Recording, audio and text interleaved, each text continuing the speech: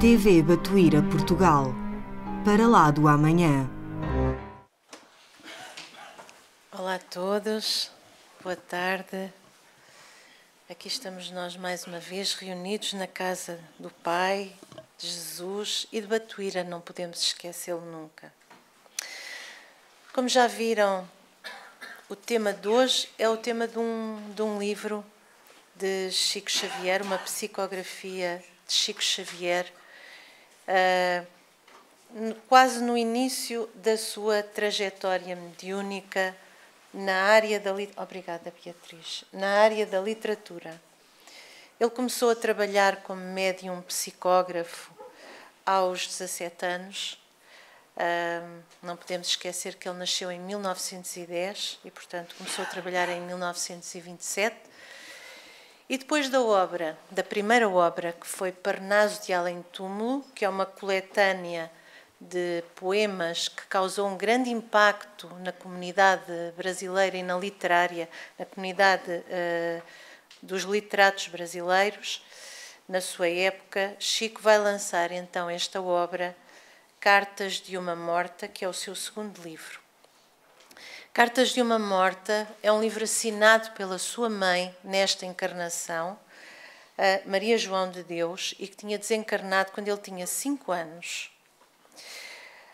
É uma fotografia de Chico, provavelmente não quando ele tinha, quando ele tinha a idade com que psicografou o livro, mas Maria João de Deus, neste livro, Cartas de uma Morte, ela traz exatamente isso. São pequenos capítulos, isto para quem nunca leu, Uh, são pequenos capítulos em que ela vai contar uh, a sua situação no plano espiritual. Uh, ela é como um pequeno diário que ela vai fazendo ao filho e que ela nos traz até nós através do filho, de como era a vida no mundo espiritual, como foi o desencarne dela, quais foram as suas primeiras sensações, que viagens ela fez na erraticidade. A erraticidade é o momento em que o espírito se encontra, ou o período que o espírito se encontra no plano espiritual, ao contrário da nossa vida terrena, que é do berço ao túmulo, a, vida na erraticidade é do túmulo ao berço. E pronto, e tantos aspectos que hoje nós não vamos conseguir falar de todos eles, abordar todos eles, vamos falar de alguns apenas. E o primeiro de todos é exatamente os últimos momentos do seu desencarne, uh, ou os últimos momentos da sua vida no plano físico e a sua entrada no plano espiritual. E é muito interessante nós percebermos isso porque todos nós um dia também vamos fazer esse caminho, já o fizemos muitas vezes, não nos recordamos. Ela traz-nos esta história para que nós aprendamos, e vai dizendo isso ao longo do livro. Uh, aprendamos a ser, a ser cada vez melhores, a trabalhar mais no bem, a ultrapassarmos as nossas dificuldades do sentimento, para que consigamos então alcançar um, uma nova, uma nova um, condição quando passarmos para o plano, para o plano do espírito. Vamos então começar pelo, por aquilo que ela chama, os títulos são dela, não são nossos. Aquilo que ela chama os últimos instantes da vida corporal. Ela vai narrar aqui a dificuldade que ela teve em desapegar-se da matéria. E antes de tudo, uh, permitamos-nos uh, lembrar que este espírito já tinha muitos ganhos. Não era um espírito qualquer, ela já tinha muitos ganhos e esta vida que ela teve, esta vida difícil, ela foi uma senhora com uma, uma vida muito humilde, com uma, dificuldades desde o berço, uh, e essa vida humilde e dura, rude mesmo, permitiu-lhe uh, limpar o seu perispírito sobre muitos aspectos e ultrapassar muitas das suas dificuldades. Ela desencarnou e esta data vai ser interessante para nós percebermos daqui a um pouco o que ela nos vai contar. Ela desencarnou no dia 29 de setembro do ano de 1915, então. Nos últimos momentos da vida, ela vai nos dizer: Quero crer que a angústia que naquele momento avassalou a minha alma E porquê a angústia? Porque qualquer mãe que deixa filhos muito pequenos fica extremamente angustiada. E nós temos que olhar para, esta, uh, para este espírito como uma mulher que deixou uma prole enorme de crianças, uh, crianças essas que ficaram apenas entregues ao pai e que mais tarde, isto não faz parte da nossa história de hoje, o pai uh, por razões económicas, teve que as distribuir pelos familiares e nós só aqui já compreendemos a grande preocupação dela enquanto mãe. E originou-se da profunda mágoa que me ocasionava a separação do lar e dos afetos familiares. Dentro do catolicismo, ela era profundamente católica e profunda e uma mulher de muita fé. Isto também é muito importante para nós percebermos todo o seu trajeto inicial no plano espiritual, porque é isto que vai determinar as suas primeiras reações e é também a sua fé que lhe vai permitir uh, ultrapassar grandes dificuldades. São estes dois fatores: o catolicismo que ela professava, mas simultaneamente a sua profunda fé em Deus. Então ela diz-nos que dentro do catolicismo que eu professava fervorosamente atemorizava-me a perspectiva de uma eterna ausência.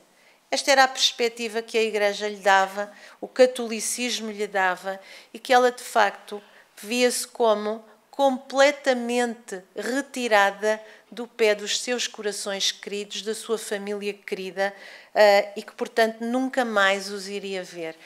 Esta era a mensagem que ela tinha quando estava quase a desencarnar.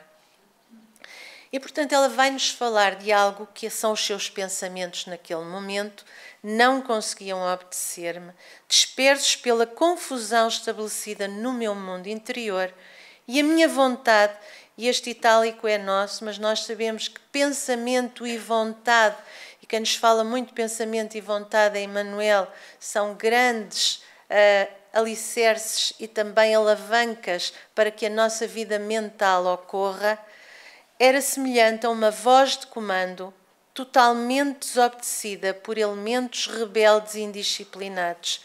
Ela lutava contra aquilo que é inevitável para qualquer um de nós. A nossa vida tem um início, vida material, e tem um fim. Então ela lutava contra isso para ficar próximo daqueles corações. E depois desta, desta descrição que ela vai dar ao filho, ela então desencarna. E quando desencarna, a maior parte de nós não se vai recordar do seu momento do desencarne. E ela já sem corpo físico, não é? Já sem corpo de carne, ela vai começar a falar-nos das suas primeiras impressões e que são confusas para quem desencarna. Desejei falar, manifestar vontades e pensamentos. Isso, porém, era impossível. Ela ainda tinha a mente projetada para o seu corpo físico e ela já não tinha corpo físico.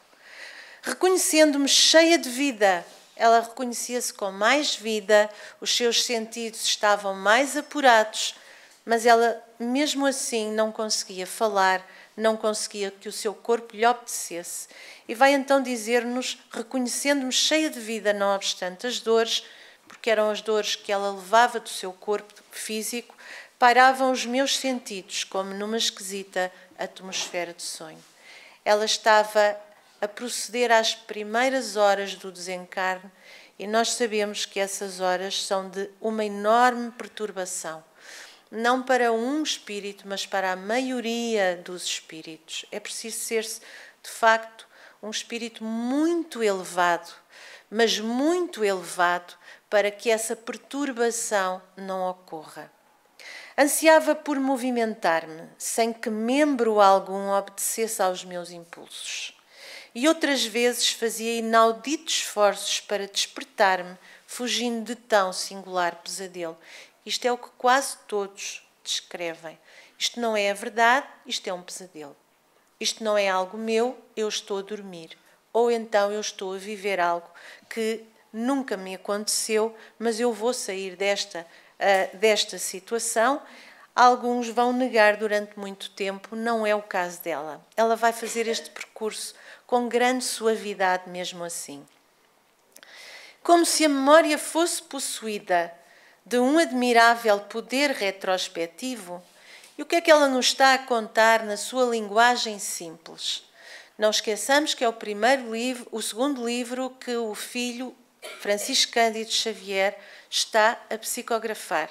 Mas também não esqueçamos que há, uma, há como que uma história, uma linha condutora. E daqui a 10 anos, Chico Xavier, portanto, este livro é de 1935, daqui a 10 anos, Chico Xavier irá começar a psicografar uh, os livros de André Luiz, que irão aprofundar tudo o que Maria João de Deus nos conta neste livro. Então, quem nunca leu André Luiz pode começar pelo livro Cartas de uma Morta, porque é um livro muito, muito simples e um livro muito bonito. E o que é que ela nos está a dizer? Que após a perda do corpo físico, ela está, ela está a começar a aceder à sua memória integral. E, portanto, qual é a primeira parte dessa memória a que ela acede? A sua vida inteira. O seu poder retrospectivo começa e começou a ver todos os quadros da minha infância e juventude, relembrando um a um os mínimos factos da minha existência relativamente breve. Então ela vai começando a ter acesso à sua memória integral, pouco a pouco. É assim com todos os espíritos? Não. Mas não vamos continuar a, a, a referenciar esta situação. É assim com os espíritos. Como? com uh, os ganhos espirituais de Maria João de Deus. E ela tinha grandes, uh, ela tinha grandes saudades da família, tinha também grandes momentos em que se sentia desorientada e perdida. E nesses momentos em que ela se sentia desorientada e perdida, o que acontecia? Ela ia à procura do lar. E quando ela ia à procura do lar, ela numa dessas, numa dessas situações em que ela vai à procura do lar, ela encontra os filhos primeiro. Como ela nos diz, mas meus filhos não me reconheceram, porque ela falava e eles não a ouviam e não lhe respondiam. E com isto ela achava que eles seriam uns ingratos, que não a estavam a ver, que não estavam a ouvir. Não, eles não a viam. Só que ela ainda não tinha compreendido que já tinha desencarnado. E de balde formulei os meus sentidos e carinhosos apelos. Ela pede, ela fala, mas não há nada que ela consiga, com que ela consiga fazer que eles a ouçam ou que eles lhe respondam.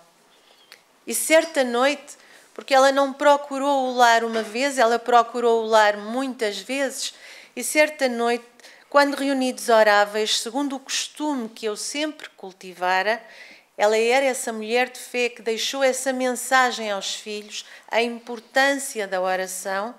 Ouvi que o oferecimento das preces a Deus era feito em intenção da minha alma. E quando isto acontece, finalmente ela percebe, e o capítulo a seguir tem um título que é Ah, eu morrera. Ela percebe, não, a minha vida terrena tinha acabado e descerrou-se, como ela nos vai dizer, descerrou-se o véu que lhe impedia que o pensamento fosse mais claro e fosse mais ágil. Mas quando ela compreende que isto aconteceu, o seu pensamento ficou mais claro e ficou mais ágil. Ela deixou de se sentir tão mal e ela compreendeu que estava no mundo espiritual. Este é um caminho que demorou um mês extraordinário. E ela chama isso, Maria João de Deus chama isso o primeiro dia da erraticidade. Aquele mês para ela não conta. O que conta é aquele dia. Chegar ao dia 2 de novembro de 1915 e mais de um mês, tinha sido em 29 de setembro, já havia transcorrido sobre a data da minha desencarnação. Aqui há uma diferença e nós espíritas também o sabemos, entre morrer e desencarnar. Morrer é o corpo físico. Mas o espírito pode ficar durante longo tempo próximo desse corpo. Desencarnar é compreender e aceitar o plano espiritual. Essa é a diferença e por isso ela considera o primeiro dia, o seu primeiro dia da erraticidade é quando ela compreende que afinal tinha desencarnado. Claro que ela não lhe podia chamar, ah, eu desencarnara, porque ela era católica. E portanto, o que é que ela nos diz? Ah, eu morrera. Claro que sim, ela era católica. Nesse dia, sob o império de grande dissabor que me adivinha daquela incompreensão, nesse dia ela compreende que tudo havia mudado e dirigiu-se tristemente à igreja para orar, aproveitando a quietude da sua soledade, da sua solidão. Estar a igreja sem ter a igreja só para ela. Mas ela chega à igreja e o cenário é diferente.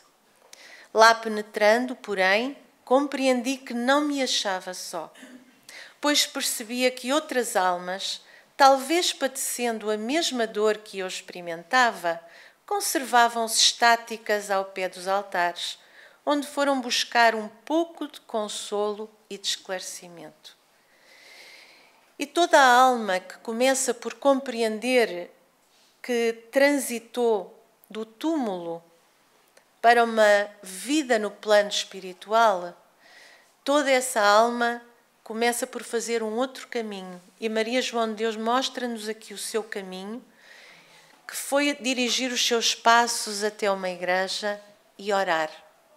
E descobrir que nessa igreja havia tantos outros que tinham as mesmas dificuldades que ela. E o que é que vai acontecer então? Ela entrega-se, como nos diz, aos arrebatamentos da prece, e nesse momento ela sentiu uma intraduzível vibração percorrer todas as fibras do meu ser, como se fosse sofrer um vágado, afigurando-se-me invadida pela influência do sono. E ela fica adormecida durante pouco tempo, entre aspas, adormecida entre aspas, mas durou-se poucos instantes semelhante estado. O que é que aconteceu? Ela foi amparada. Naquele momento, ela foi amparada. E ela vai nos dizer que desperta novamente, e isto acontece com muitos espíritos. Mas eu estava num lugar e agora estou noutro. Acontece com muitos espíritos quando eles conseguem compreender que a sua situação é diversa daquela onde eles julgavam encontrar-se e vê-se ao lado de uma legião de seres que se achavam genuflexos como eu. Já outro, porém, era o templo no qual me encontrava. Portanto, ela estava a orar, ela continua a orar. Porque nós, quando desencarnamos, não nos tornamos anjos. Nós levamos exatamente os mesmos pensamentos e os mesmos sentimentos com que estávamos na Terra. Se nós tínhamos sentimentos de amor, levamos sentimentos de amor. Se nós tínhamos sentimentos de medo, levamos sentimentos de medo.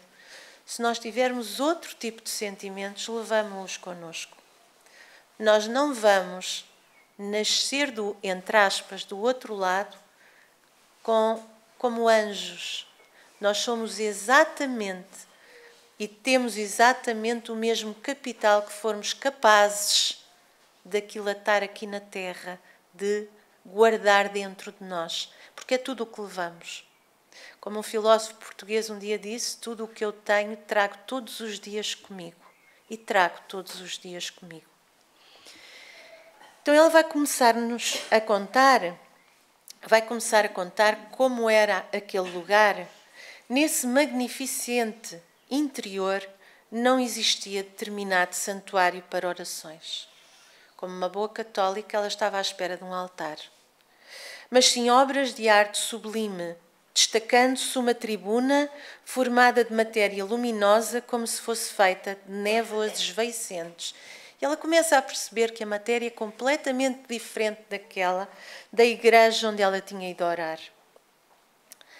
Foi quando se desenhou na tribuna de neve translúcida, majestosa figura de um parlamentário, parecendo-me que ali se materializara por um processo misterioso e em forma humana o anjo celeste, no qual se destacavam todas as perfeições. O que é que ela nos está a dizer? Que André Luiz vai explicar de uma forma muito aprofundada. Ela está-nos a dizer que naquele momento teve lugar uma materialização de um espírito superior. Superior a quê? Superior à esfera onde estava Maria João. O que é que vem fazer este espírito? Vem dar esclarecimento àquelas almas que se encontravam ali. E André Luiz vai-nos falar das materializações no plano espiritual. Uma delas está em Obreiros da Vida Eterna, por isso é que é tão interessante ler Maria João de Deus. Asclépios, que é um espírito iluminado que pertence às comunidades redimidas do plano dos imortais. Este nome pode parecer muito longo, mas podemos dizer pertence à esfera crística e Asclépios veio do plano da, da, da esfera crística materializar-se num plano inferior para dar uma comunicação. Aqui, como ela só tinha ouvido falar de anjos, a que é que ela vai associar então essa majestosa figura a um anjo celeste. Mas nada mais é que um espírito superior que se materializou numa esfera um pouco abaixo. E ela vai nos dizer que se destacavam neste espírito, neste anjo, como ela lhe chama, todas as perfeições. Ele irradiava do seu olhar benigno e fulgurante uma onda de indescritível ternura que transbordava na sua voz saturada de suavidade e doçura. Ele vai dar uma lição muito longa, que não temos tempo de trazer toda, toda essa lição até aqui, mas vamos falar de alguns aspectos em que ele lhes vai chamar a atenção, particularmente para as razões de eles estarem ainda tão inadaptados àquele, àquele ambiente. Ele vai-lhes dizer a dado momento: Não soubestes, contudo, dentro da pequeneza, da pequeneza educacional que vos foi parcamente ministrada, descerrar o velário augusto que encorre, que encobre o santuário infinito da vida. A nossa educação espiritual e a educação que foi oferecida a Maria João de Deus criou-lhe um conjunto de reflexos mentais tais que ela não conseguia abandonar. Por isso, ela vai fazer as primeiras descrições como uma boa católica que ela era, não é?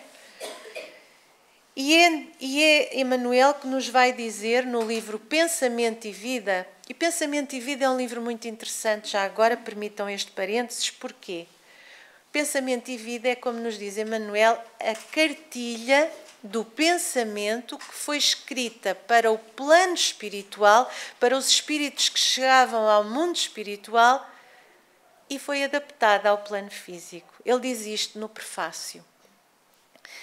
E efetivamente ninguém pode ultrapassar de improviso, como diz Emmanuel, os recursos da própria mente. Os recursos dela eram aqueles ela estava sujeita àqueles recursos e é isto que lhe está a ser uh, indicado. Ela tinha tido determinada educação, essa educação ia então ter que ser ultrapassada, uma vez que as verdades do espírito não eram aquelas que lhe tinham sido comunicadas. E ele vai continuar então a dizer-lhes: acomodando-vos entre as acanhadas concepções que vos foram impingidas pelas ideias religiosas e que amesquinham a grandeza do Criador do universo na fase do orbe que vindes a abandonar. E este mentor vai sempre falar também das dificuldades que nós temos no planeta onde nós estamos encarnados são próprias estas dificuldades, esta pequeneza, esta pequeneza educacional, como ele nos, lhe chama, uh, e são próprias deste espaço, deste, deste planeta onde nós habitamos. E que fazia então um, que faziam estas, estas percepções mentais de todos estes que ouviam esta preleção. Criar um local fantástico de gozo beatífico, um paraíso, ou de sofrimento eterno e inelutável, um inferno. Centralizar a vida num globo de sombra é somente obra da ignorância desconhecedora da omnipotência e sabedoria divinas. E por isso Jesus nos disse: na casa do Pai há muitas moradas. Portanto, nada está sujeito apenas ou aos lugares do paraíso ou aos lugares do inferno. Há muitos caminhos que ainda temos que percorrer enquanto espíritos. Ele vai continuar dizendo: é que a vida não palpita apenas no mundo distante, onde abandonaste as vossas derradeiras ilusões. Em toda a parte ela pulula triunfante. Há vida em todo o lugar que foi, foi obra do Criador. E o veículo das suas manifestações é o que se diversifica na multiplicidade dos seus planos. Os mundos são a continuidade dos outros mundos e os céus sucedem-se ininterruptamente através dos espaços ilimitados. E isto era uma novidade para todos aqueles espíritos que ali estavam a ouvir estas novas verdades. E, portanto, ele vai terminar dizendo-lhes: Esquecei temporariamente o teatro de vossos infortúnios, esquecei o que está lá atrás, esquecei o que acabaste de viver, de onde muitas vezes fostes almas traídas e humilhadas dessa vida difícil que foi a vossa última encarnação, mas onde também obtiveste o alvará de vossa liberdade preciosa. Elevemos ao Pai a nossa oração de reconhecimento e de amor, da qual se avolem todos os nossos mais puros sentimentos, transubstanciados em harmonias celestes. Voltemo-nos para Deus. É isso que Ele lhe está a pedir.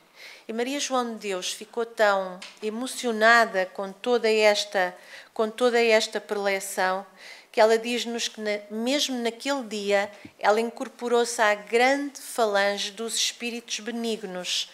E ela diz-nos que esses espíritos trabalhavam uh, ao lado da terra a bem dos seus semelhantes.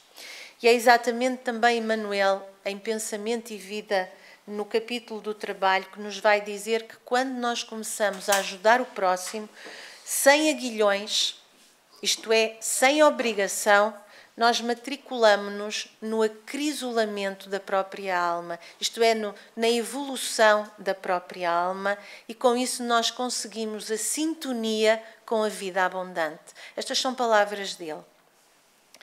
Então ela vai começar também por nos dizer, a dado momento, ela vai fazer viagens, várias viagens das quais nós não conseguimos falar hoje, mas ela vai nos dizer que no espaço ainda existe matéria só que, porém, em condições diversificadas, numa subtileza que nos é inimaginável e que constitui verdadeira maravilha à sua adaptação à vontade dos espíritos. E Emmanuel vai nos dizer mais tarde que os espíritos não precisam de mãos. Eles produzem, eles criam através do pensamento. E é isso que ela nos está também a dizer. A criação é feita através do pensamento. As nossas criações, felizmente, não são eternas, não são uh, para todo o sempre, porque as nossas criações, muitas delas, nem deveriam existir. São pensamentos que nós nem deveríamos ter. E por isso, nós não temos essa condição. Mas os espíritos mais evoluídos, eles já criam pelo pensamento. Lá também a sociedade organiza-se, as suas leis predominam, as famílias reúnem-se sobre os imperativos das afinidades naturais, luta-se e estuda-se na amálgama dos sentimentos que caracterizam o homem racional. Então continuamos a aprender, continuamos a ter uma família por afinidades, continuamos a ter sentimentos que são aqueles que levamos da terra, aqueles que caminham connosco há milénios. Em outras modalidades, pois, a vida prossegue. E a única diferença, diz-nos ela, é que a alma desencarnada não se vê tão compelida ao cansaço em razão dos elementos da matéria rarefeita. O cansaço é muito menor e será cada vez menor quanto mais evoluída é a alma. Mas um dos seus maiores, ou uma das suas maiores estranhezas, é esta que nós trazemos aqui. É que um dos meus primeiros pensamentos, diz, de estranheza foi o de compreender que havia morrido e ao mesmo tempo conservar o meu corpo. Uma confusão, podemos nós imaginar, não é? O qual, segundo o bom senso, fora entregue à terra. Ela sabia que o corpo tinha sido entregue à terra, mas tinha um corpo. E constatou mais: constatou que os meus pulmões respiravam e o meu coração pulsava com absoluta normalidade. De que é que nos está a falar? Ela está-nos a falar da nossa matriz, o que dá então forma ao corpo físico.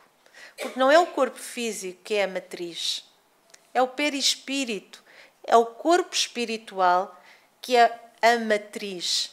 E o corpo espiritual não é oco. Nós é que o desenhamos oco, mas ele não é oco. Ele tem órgãos. Ele tem, por isso ela sentia um coração, por isso ela sentia pulmões, por isso ela respirava, pulsava. E André Luiz irá falar-nos sobre tudo isto dez anos depois, com mensagens muito mais completas do mundo espiritual. Tais pensamentos afligiam-na preocupava-me apenas, ainda, o isolamento em que me encontrava. Ela sentia-se sozinha. Qual o for, para o qual fora arrebatada sem um preparo prévio. Ela não tinha preparado, pelas razões que nós conhecemos, para toda a situação que vivia. E sentia-se completamente só. E é aqui que ela vai perceber a seguir que não estava só, ela vai enviar então, através da psicografia ao filho, uma carta que ela designa de o guia invisível. E ela começa desta forma mesmo.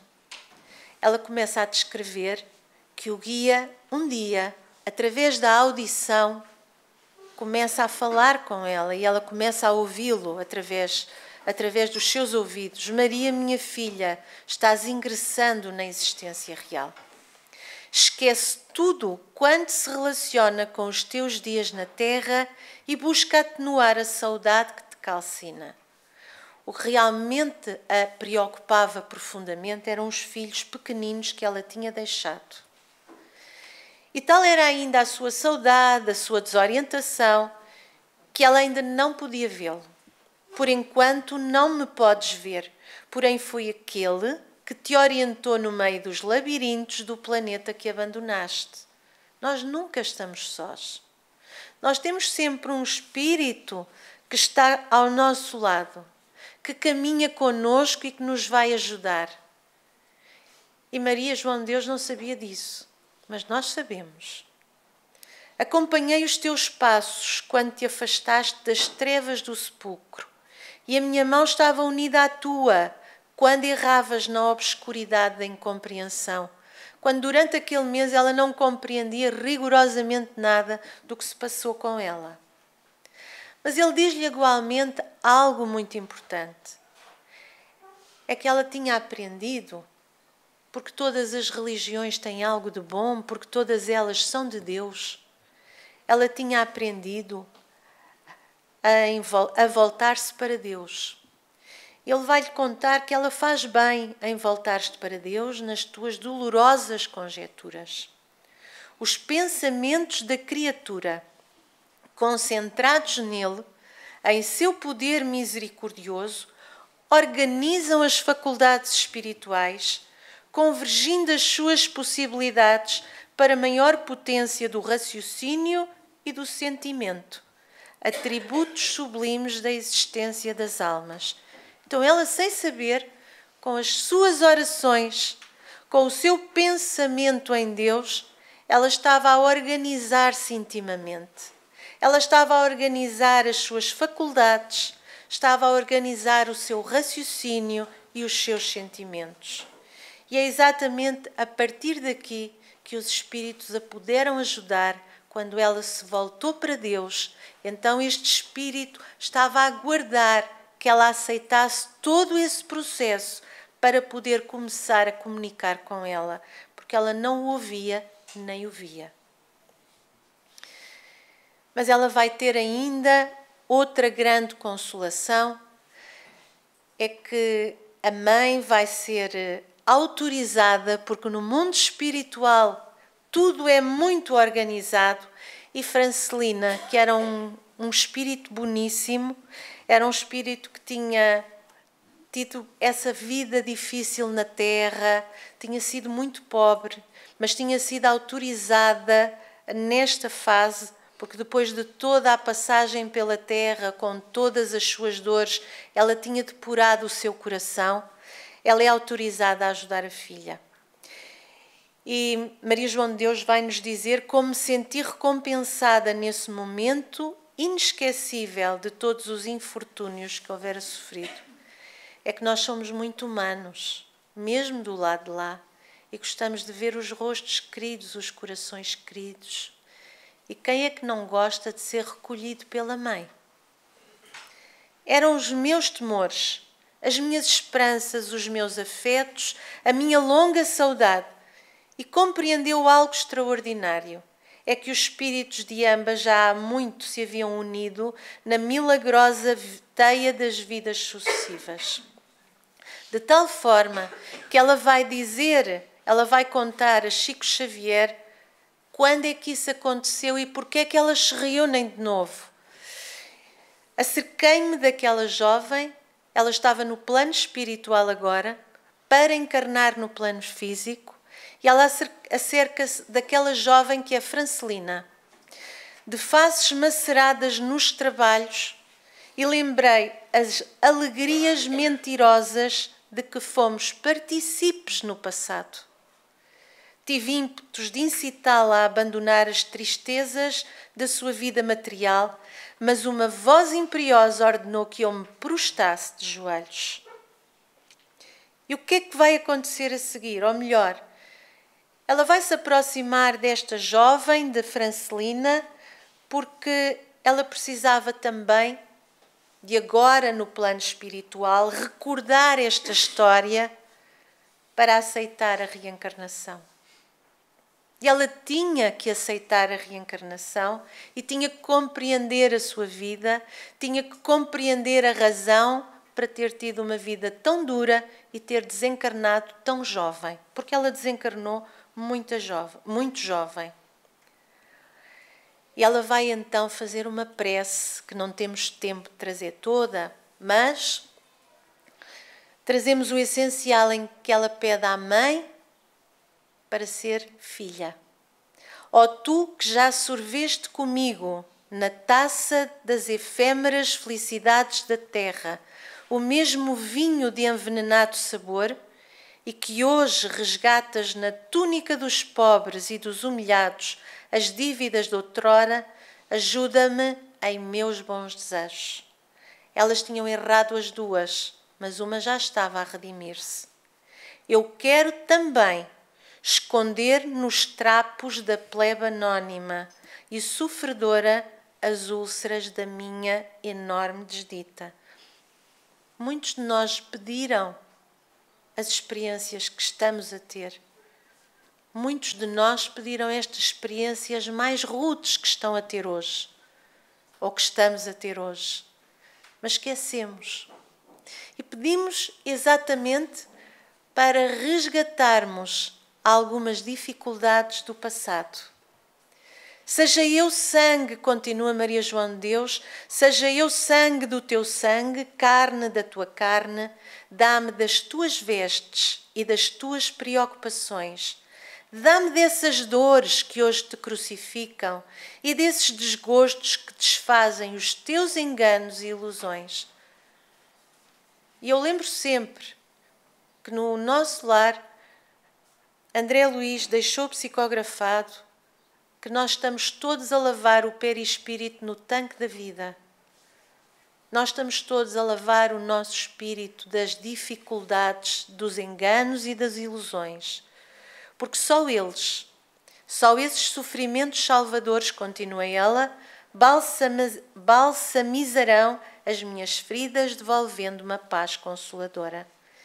E ela, exatamente como a sua mãe, vai ser mãe para aprender, para sofrer, que nós sabemos que ela também sofreu muito, já que as dificuldades dela também foram muito grandes, e redimir-se das suas sombras para vir mais tarde então deixar-nos este belíssimo testemunho que é este livro fantástico uh, que ela nos deixou através de Chico Xavier.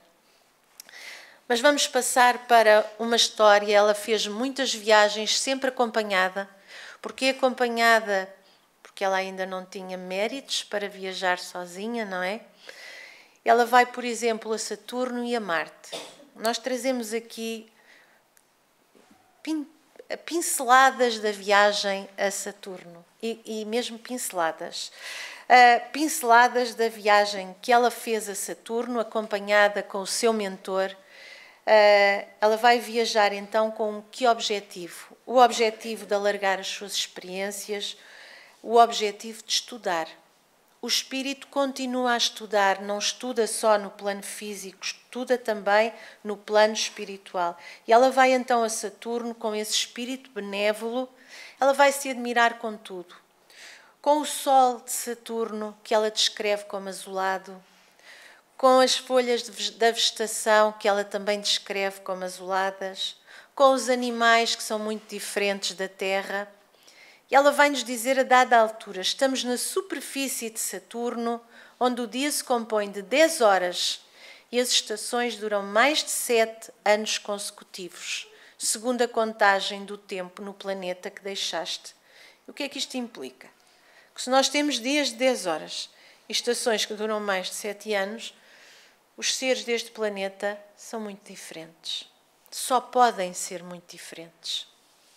Portanto, nós não podemos procurar ADN igual ao nosso. Não é esse que vamos encontrar nunca. Ela vai continuar a dizer-nos que a situação climatérica é eminentemente benéfica, a razão do equilíbrio da obliquidade da elítica, e com base nisso, há muito menos doenças. Há elementos de saúde duradoura. Mas como ela estava habituada à Terra, nós temos uma normalidade e a normalidade normalmente é a nossa, não é outra, é a nossa. E ela vai nos dizer, ela vai se espantar com a aparência dos seres que ela encontra e ela vai nos dizer que essas criaturas são estranhas. E o mentor vai lhe responder: essas criaturas que te parecem animais egressos da plaga, das plagas terrestres, onde os zoófitos encontram os seus elementos de vida, são altamente dotados de sabedoria, sensibilidade e inteligência. Os seus sentidos e percepções são muito superiores àqueles com que foram aquinhoados os homens terrenos. E a preocupação máxima de todos eles é a intensificação do poder intelectual. Estamos num planeta muito mais evoluído do que o nosso, muito mais com seres superiores neste momento ao nosso. Eles vivem aproveitando-se daquilo que a natureza proporciona espontânea e naturalmente e alimentam-se com frugalidade. E criaram uma organização política de tal modo, segundo a sua elevada evolução espiritual, que vai regular com absoluta equidade todas as questões económicas. E que, que leva a isso? Se há equidade, como nós sabemos, há equilíbrio e se há equilíbrio, não há guerra. Então, nós estamos num planeta que tem de facto já grandes ganhos morais e grandes ganhos espirituais.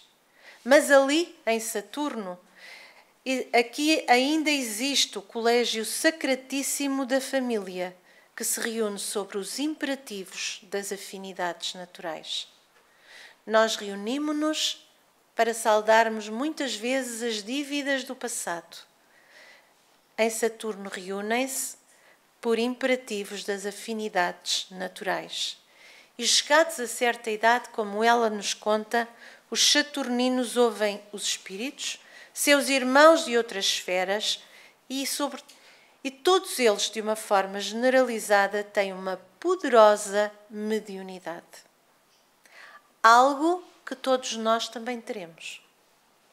Não está apenas dado para alguns. Deus criou-nos a todos simples e ignorantes, mas todos nós caminhamos em direção à perfeição. Mas os ganhos deles passam também por isto que ela, que ela nos conta como a ciência unida à fé. Entre eles a justiça e a verdade não são um mito. Há muito a ciência está reunida à fé. A nossa separou-se. A nossa separou-se com o conhecimento científico, com o pensamento de Descartes. Houve a cisão entre ciência e religião. E desde essa altura, a ciência e a religião ainda não se encontraram. Vão se encontrando pontualmente, mas desde esse tempo que elas ainda não irmanaram de novo as mãos. A simplificação da existência continua por meio das aplicações do seu extraordinário engenho e de suas nobilíssimas concepções acerca das finalidades da vida, minorou-lhes as fadigas e os trabalhos, que aqui não precisam ser tão intensos. Enquanto para nós o trabalho ainda é um esforço, para eles a intensidade desse trabalho já não exige o esforço que exige na terra. As moléstias incuráveis são desconhecidas e sagradas instituições recebem os que se avizinham da transição que denominais morte na terra. Porquê? Porque para eles a morte não existe. Eles estão cientes de tudo o que vai ocorrer ao espírito liberto. Eles têm consciência desta passagem. Nós não. E nós podemos pensar assim, então, mas eles são perfeitos? Mas o mentor passa a dizer: não, não, não são seres perfeitos como talvez presumas. São falíveis, mas o que te procuro demonstrar é a sua incontestável superioridade sobre o orbe que abandonaste. É um planeta muito mais evoluído. Mas Maria João de Deus teve créditos espirituais para visitar este planeta. Não nos podemos nunca esquecer que ela tem créditos muito particulares para fazer este tipo de aprendizagem no plano espiritual. A nossa existência é continuidade da vida material com todas as suas características. Vem daí, e este conselho é dela, vem daí o nosso contínuo conselho para preparardes uma vida melhor. Nós estamos a preparar a nossa partida para o plano espiritual e estamos a preparar a nossa próxima encarnação. Nós já estamos a preparar tudo isso. E ela diz-nos como fazer: pela aquisição da virtude e do conhecimento. O que é que nos diz o Evangelho segundo o Espiritismo? Senão, espíritas, amai-vos. Eis o primeiro ensinamento Diz-nos o Espírito de Verdade no capítulo 6, o Consolador Prometido. E instruí-vos, eis o segundo. Façamos a nossa parte, a nossa, a nossa caminhada, aprendendo a superar-nos, a superar as nossas dificuldades, que por muito grandes que sejam, superarmos um pedacinho já é bom. Instruamo-nos, passamos façamos o nosso trabalho de nos instruirmos para que cheguemos ao plano espiritual com um pouco dessa, desse conhecimento tão necessário. Nós estamos quase a chegar ao fim da nossa palestra, porque não temos, da nossa conversa, porque não temos muito tempo, mas antes de chegarmos ao fim da nossa conversa, nós trouxemos ainda para partilharmos a mensagem que uma mãe deixa ao seu filho. Ele estava a começar a sua tarefa mediúnica. Nós sabemos que a mediunidade tem muitos escolhos, muitas dificuldades. Há, muitos, há muitas coisas que aliciam o médium, e ela vai deixar uma mensagem singela, que não trazemos na totalidade, mas ela vai deixar uma mensagem singela ao seu filho para que ele se recorde sempre que há uma tarefa que cada espírito traz. Como há pouco falávamos no estudo da, do livro dos Espíritos, das duas e meia, e daí a importância de estudarmos, todos nós estudamos, todos nós temos uma missão, por pequenina que ela seja. Podemos ter uma missão dentro da nossa casa, podemos ter uma missão no nosso emprego, podemos ter uma missão no nosso bairro ou no centro espírita, não importa. Nós devemos preocupar-nos em cumprir a nossa missão. E Chico tinha uma missão: trazer o aprofundado, o aprofundar da mensagem de Kardec. Ele precisava de trazer mais, mais informação sobre a doutrina dos espíritos. E ele vai fazê-lo. Mas a mãe deixa-lhe então uma mensagem para que ele não se perca na sua mediunidade e vai dizer-lhe: exerce o teu ministério confiando na providência divina. Naquilo que todos nós, a dado momento, temos que confiar mesmo. Seja a tua mediunidade como harpa melodiosa. Porém, no dia em que receberes os favores do mundo, como se estivesses vendendo os seus acordes, ela enferrujar-se-á para sempre. Não te esqueças disso. A mediunidade vem, a mediunidade vai. O dinheiro e o interesse seriam azinhavres, azinhavre é verdete, nas suas cordas. Portanto, perder-se-ia. Ser pobre, pensando naquele que não tinha uma pedra onde repousar a cabeça dolorida, e quanto à vaidade, não guardes a sua peçonha no seu coração. O médium pode ser muito uma vítima da vaidade, porque é médium, porque é eleito, porque é especial. Não. Ele tem uma tarefa, como todos nós temos uma. Não encares a tua mediunidade como um dom, um dom especial, não é? O dom é uma dádiva e ainda não mereces favores do Altíssimo dentro da tua imperfeição. Ele era um espírito tal como nós, é um espírito que também tem os seus tinha a sua humanidade e também tem as suas dificuldades reflete que se a verdade tem exigido muito de ti, é que o teu débito é enorme diante da lei divina. Considera tudo isso e não te desvies da humildade. Nos tormentos transitórios da tua tarefa, e ela está-lhe a chamar a atenção para tudo isso, lembra-te que és assistido pelo carinho dos teus guias intangíveis. Podes não os ver, mas eles estão aí.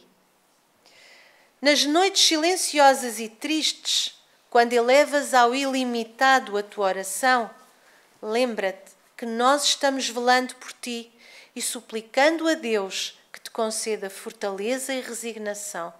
E nas horas difíceis, todos nós estamos a ser amparados, sem exceção. E ela despede-se.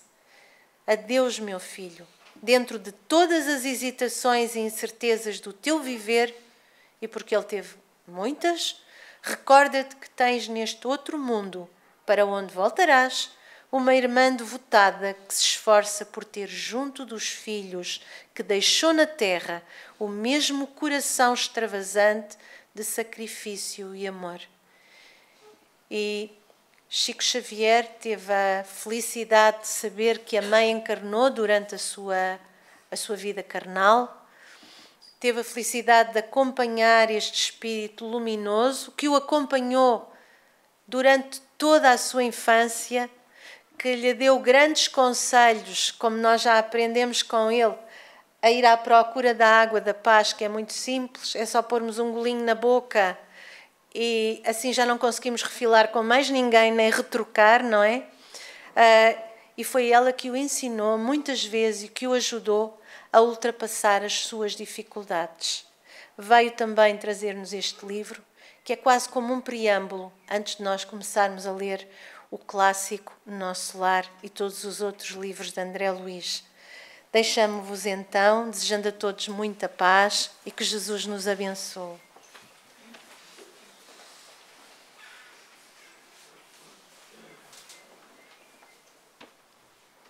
Muito boa tarde, queridos amigos.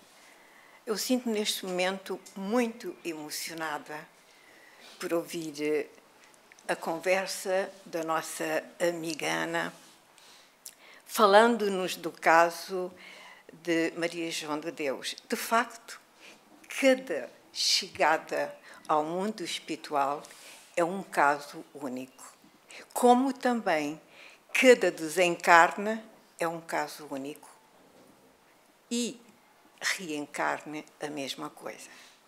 Portanto, tudo está interligado ao próprio espírito.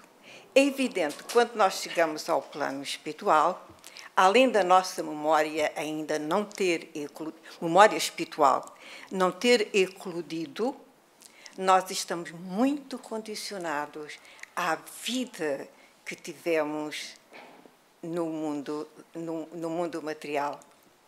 E nós ficamos muito apagados, nós levamos problemas, anseios conosco. Isto vai-nos muito dificultar, de facto, esse libertar do espírito tal, porque afinal nós saímos do mundo espiritual. Porque nós chegamos lá e não o identificamos o local de onde nós realmente saímos. Então, de facto, o que nós necessitamos é nunca esquecer, em cada momento, devemos acionar a prece.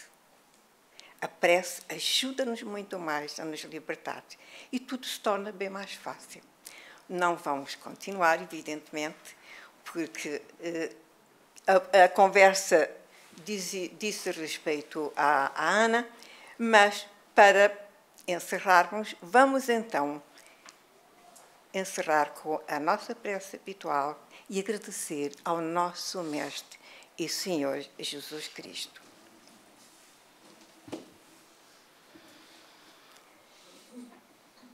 E agora, Senhor, com os corações emocionados, muito agradecidos, Senhor, por todos os esclarecimentos, que recebemos nesta tarde,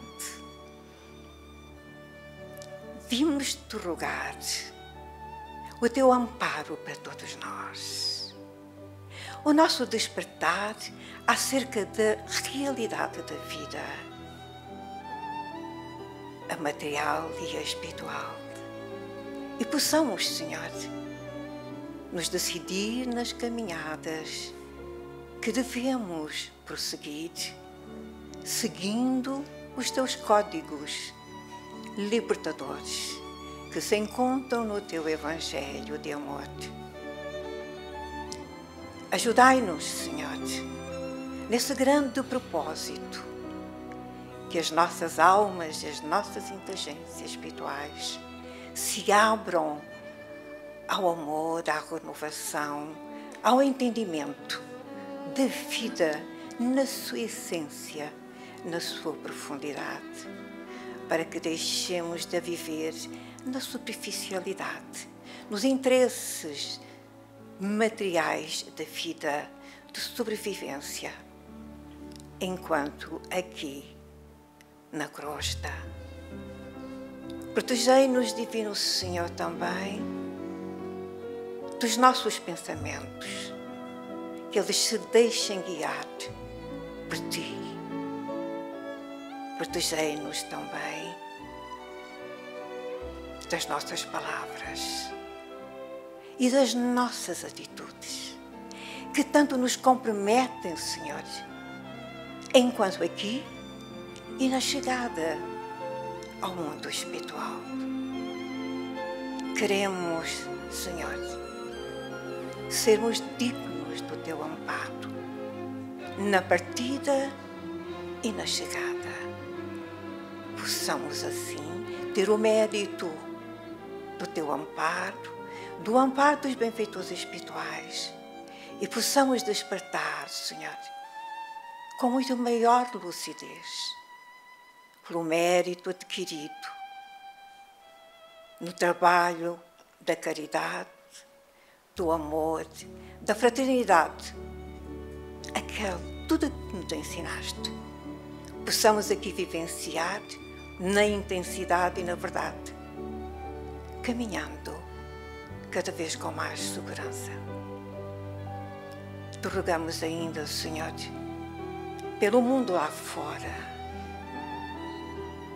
que olhes, que lances o teu olhar e a tua proteção para todos os desviados, principalmente aqueles que desconhecem o teu Evangelho, Senhor. Que lhes seja concedida a oportunidade de eles também acederem ao conhecimento orientador das suas vidas. E assim, Senhor, te rogando de novo a tua bênção e a tua proteção, acompanhai-nos de regresso aos nossos lares, aos nossos trabalhos, às nossas relações lá fora. Que sejamos cada vez mais responsáveis, assumindo essa responsabilidade fraterna, amiga e de devedora do cumprimento de todos os nossos deveres. Ficai conosco, Mestre, hoje e sempre, e que assim seja. TV Batuíra Portugal. Para lá do amanhã.